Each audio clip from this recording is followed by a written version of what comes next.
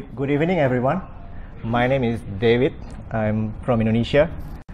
Currently, I'm working as a full stack developer in C Manager. So I've been doing React for one year till now. Can you guys hear me? Okay. Yeah. So today, oh sorry, thank you for having me. this is my first time talking in the public. Yeah, so I'm quite a bit nervous. So today I'm talking about uh, how to conquer form in React. So yeah, this is a very basic topics, but I think it's quite essential for us to understand. Yeah. So why form? Yeah, we cannot attend this meetup without the form. So when you when you click the OK button, it's a form actually, right? It's giving the response to the server if you want to attend this meetup or not. Yeah, form is everywhere. You, you, you cannot avoid form. Form is even when you type message in the WhatsApp, is actually also a form. Yeah, we all agree we need form.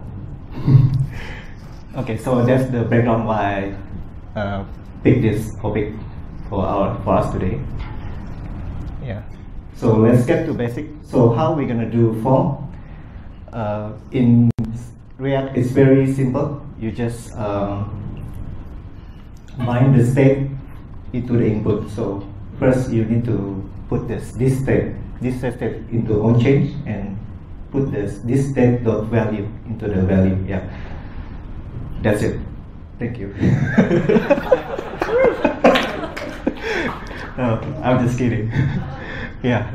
Is it life is visible with this? I don't think so, right? Because if you have a lot of inputs you need to manage, I don't think this is a good solution for you.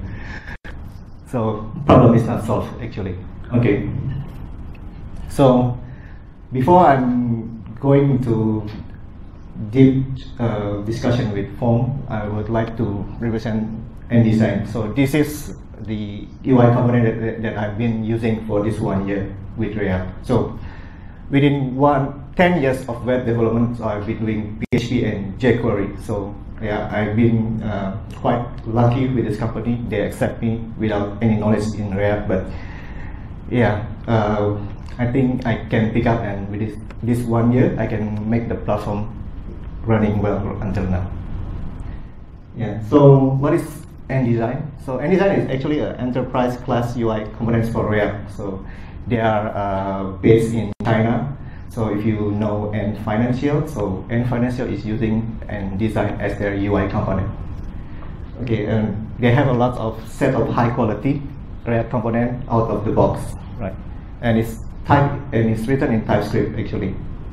Yeah, so all the all package is actually a development and design resource and tools. Okay, so let me show you some demos that I prepared for you.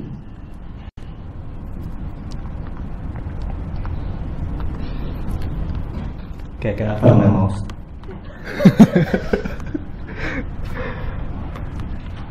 okay, so I think I'm the only one using Windows in this. Okay, so um, sorry.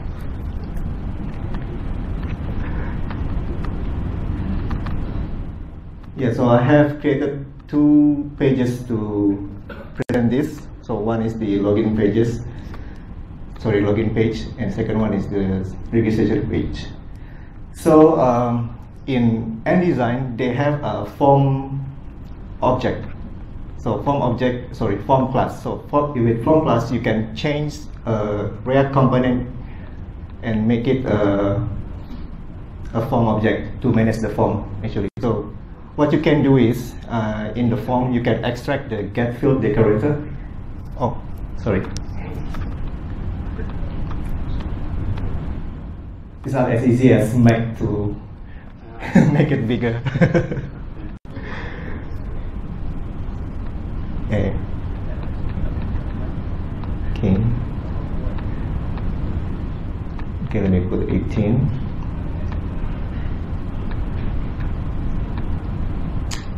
Okay. it's only make the UI bigger, sorry. Uh, I don't think this one.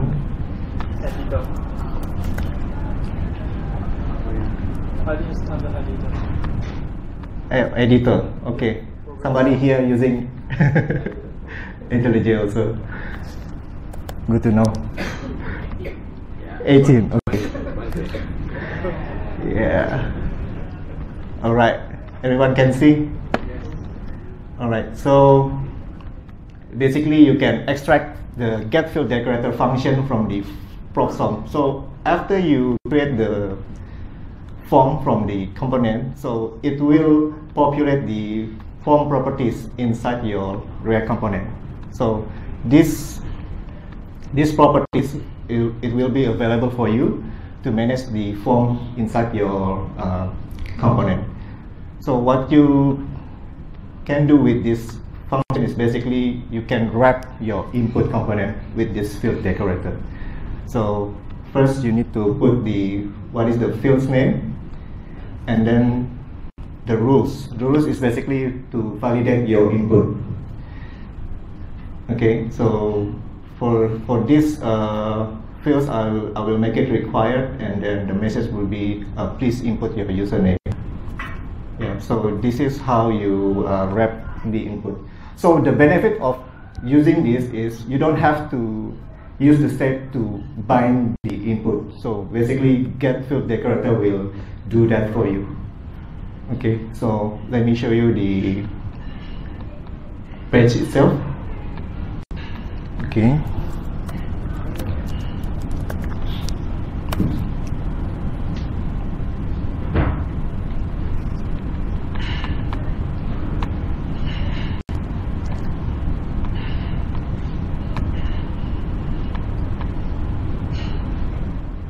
Okay, it might take a while to start up. Okay.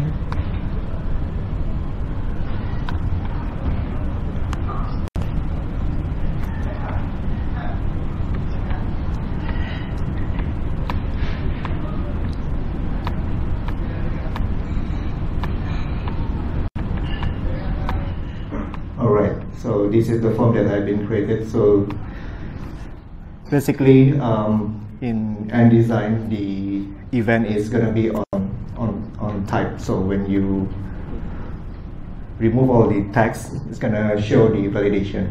It's also with same with this. So the validation is uh, built, uh, I mean run in real time. So you don't need to uh, wait until it's gonna be clicked or yeah. And then, so what's the other benefit with this get field decorator? The other benefit is will be uh, handling the submit. So I have this dream when I was doing form in HTML. I don't I don't need to, pick the value from the state. Right? I just I just click submit and I will get all the values. That cannot be happen with the React with React. So you need to get it from state. But with this get field decorator,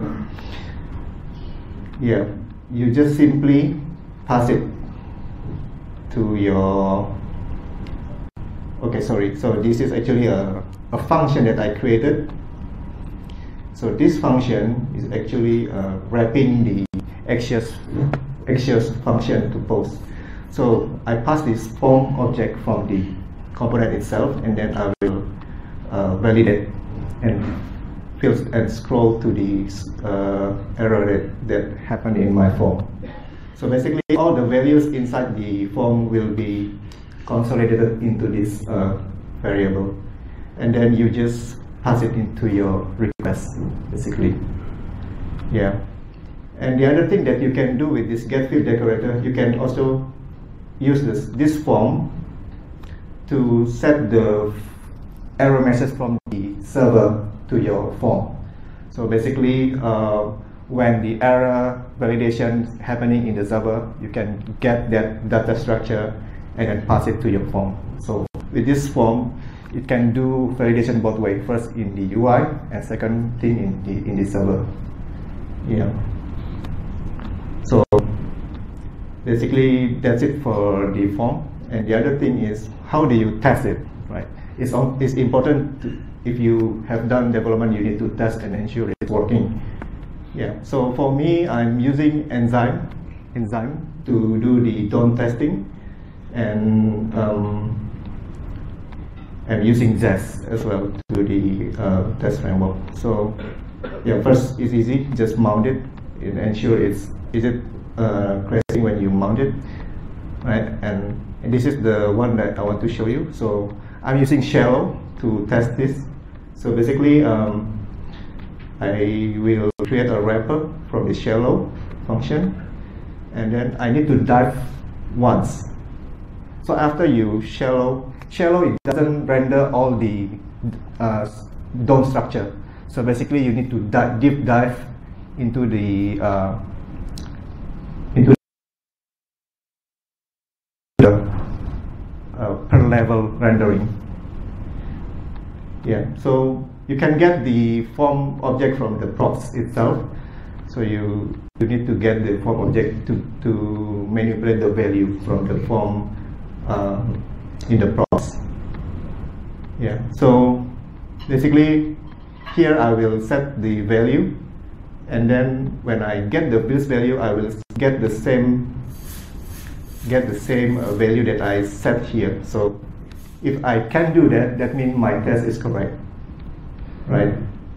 And the other thing I, I want to verify when I want, so this scenario is submit the form, right?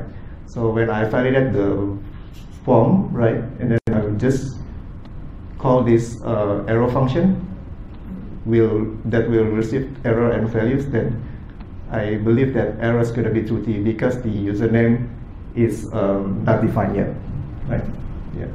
So that's basically how you handle form in uh, Ant Design. Okay. And the other thing is, if you're not using design, right? So this is, so this topic is uh, thrown out by yours, right? So I'm representing design, but how, what if you're not using design? So I liber take liberty to see what design did, and actually they are using React high order form component, which is called RC form. So you can get the uh, component from this GitHub and install it. So basically, if you go to the website in RC form,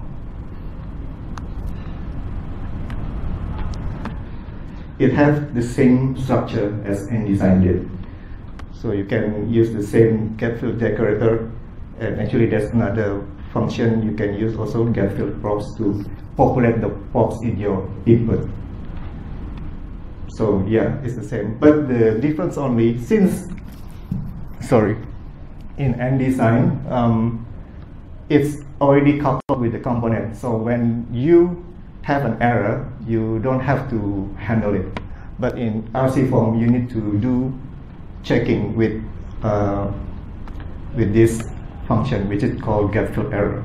But if you don't want to do that, actually you can extend this uh, library to attach into your component. Yeah.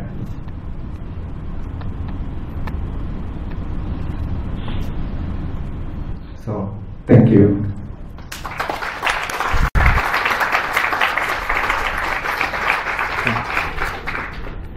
A question? when the um, the input field, you know, was marked red and showed the error because it was required, was that using the, the native HTML input required argument or something proprietary? Um, basically, you can define that in the uh, role validation in the get field decorator. So basically, you just make uh, required flag to be true, and when you try to get the value, right? And then the form uh, framework will make that uh, field input to be dirty.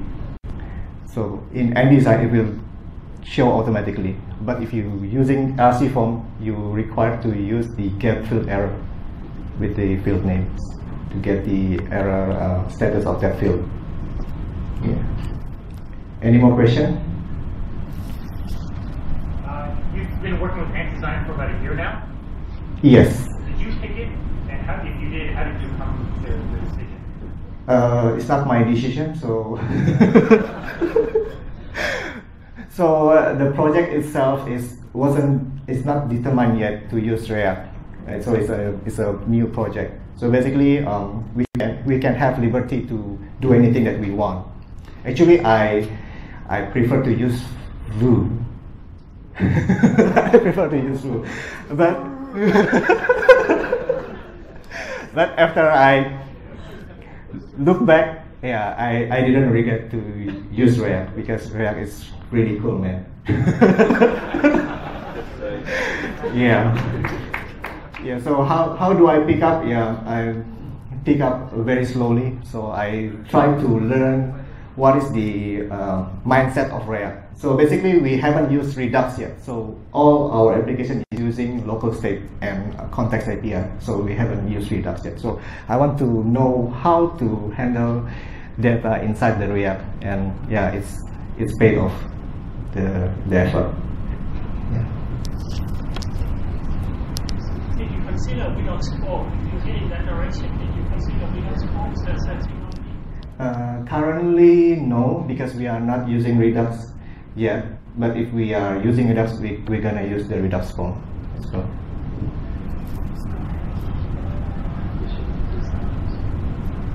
All right. Uh, thank you. Thank you.